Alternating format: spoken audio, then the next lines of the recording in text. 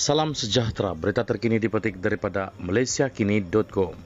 Kertas siasatan Kes Hadi, MP PAS akan diserah pada AGC. Kertas siasatan terhadap Presiden PAS Abdul Hadi Awang dan Ahli Parlimen Permatang Pau, Muhammad Fawaz Muhammad Jan berhubung kenyataan berunsur programan akan diserahkan kepada Jabatan Peguam Negara AGC untuk tindakan selanjutnya. Menteri Dalam Negeri Saifuddin Nasution berkata demikian ketika diminta mengulas siasatan serta Suruhanjaya Komunikasi dan Multimedia Malaysia SKMM terhadap Hadi dan Fawaz. Saya hanya boleh memastikan terdapat beberapa aduan dibuat, kertas siasatan telah dibuka.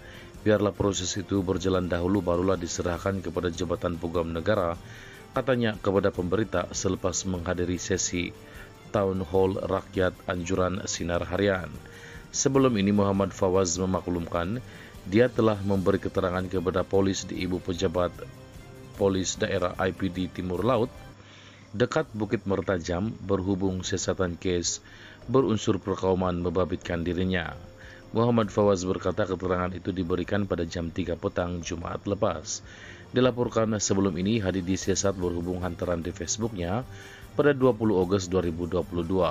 Polis mengesahkan menerima 28 laporan terhadap Hadi.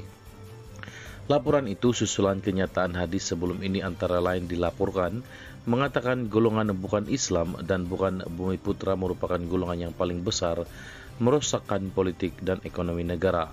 Sebelum ini Saifuddin berkata, siasatan ke atas Abdul Hadi dan Muhammad Fawaz dibuat mengikut Section 505 dalam kurungan C Kanun Keseksaan dengan Muhammad Fawaz didakwa membuat fitnah ke atas orang yang bukan Islam.